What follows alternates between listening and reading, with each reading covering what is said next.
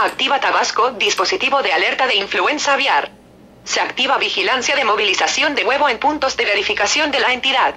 Tabasco mantiene condición libre de la enfermedad. Cabe resaltar que no existe riesgo en el consumo de huevo y de la carne de ave. Villahermosa, Tabasco. Viernes 6 de julio de 2012. Al ser puerta de entrada del sur, sureste, Tabasco a través de sus casetas fitosanitarias activa vigilancia para evitar presencia de influenza aviar, subtipo H7N3.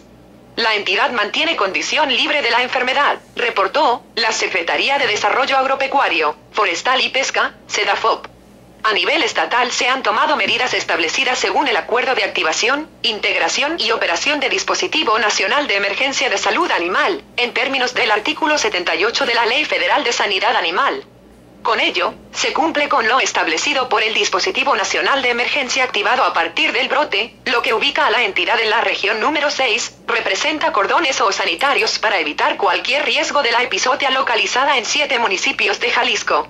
El virus de la influenza aviar, conocido como gripa aviar, trata de un virus diferente, subtipo H7N3, no transmisible al ser humano, tal y como lo anunció el secretario de Salud, Salomón Chertorivsky Goldenberg, al descartar exista riesgo para la salud humana ni riesgo en el consumo de pollo o huevo. Como recomendación adicional y medida, se sugiere el consumo bajo cocción.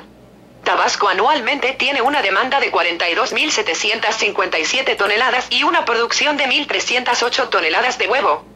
En el segundo semestre del año han transitado 28.171 toneladas provenientes del sur, centro y norte del país. Respecto a la carne de ave, la entidad tiene una demanda anual promedio de 58.875 toneladas, y se produce 22.663 toneladas para este segundo semestre del año han transitado 55.240 toneladas proveniente principalmente de Veracruz, Chiapas y Yucatán.